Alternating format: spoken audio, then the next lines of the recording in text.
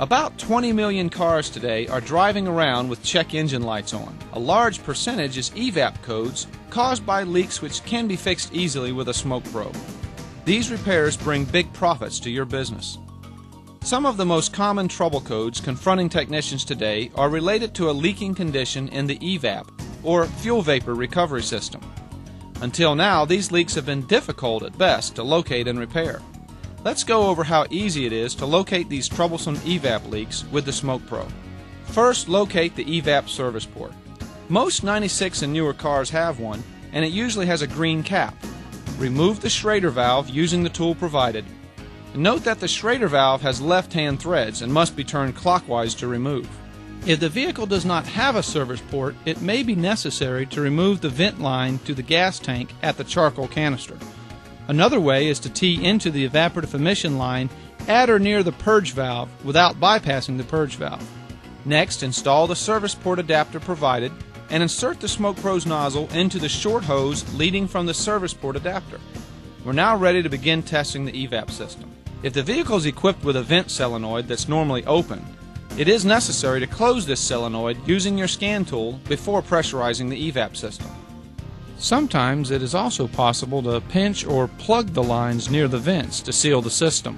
With the Smoke Pro connected to the vehicle's battery and a compressed air source, simply open the flow control valve and watch the pressure increase on the pressure gauge. Take a look at the flow meter to see if air is flowing through the system. Remember, a leak rate of 0.10 liters per minute equals about a 0.020 leak. A leak rate of 0.5 liters per minute equals about a 0.040 leak.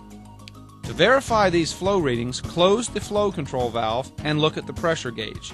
If the pressure in the system is decreasing, a leak exists, and we will now find it with smoke. Be sure that the Smoke Pro is connected to a fully charged battery. To produce smoke, press the silver button on the front of the machine. Smoke Pro will produce smoke for 5 minutes or until the button is pushed again, stopping the smoke producing cycle. While the system is being filled with smoke, remove the fuel cap and wait until thick smoke is visible exiting the fuel neck. You may need to depress the flapper valve inside the fuel neck to get good flow.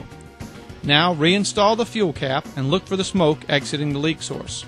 If smoke does not exit the fuel neck in a minute or two, access the evap system through the vent line to the gas tank at the charcoal canister. The bright halogen lamp provided will illuminate the exiting smoke making it much easier to see. Follow the flow path associated with the evap system until the leak source is located. Once the leak is located and repaired, recheck the system to verify that the repair has solved the problem. Do a quick pressure decay test using air only to confirm. If the needle doesn't drop, you can verify the system is airtight and fixed properly. Remove the service port adapter and reinstall the Schrader valve and protective cap.